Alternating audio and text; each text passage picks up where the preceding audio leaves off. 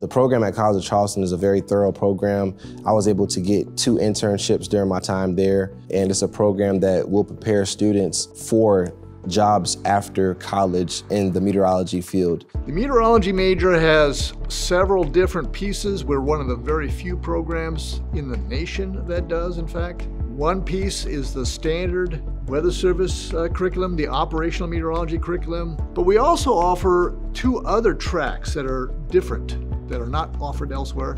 We offer a atmospheric physics track, which is good for graduate study if you want to probe the physics of, uh, of weather. And then we also offer a BA in meteorology that's designed for non-traditional jobs in business and such. I feel like meteorology is a field that's always changing, so there's always an opportunity to learn.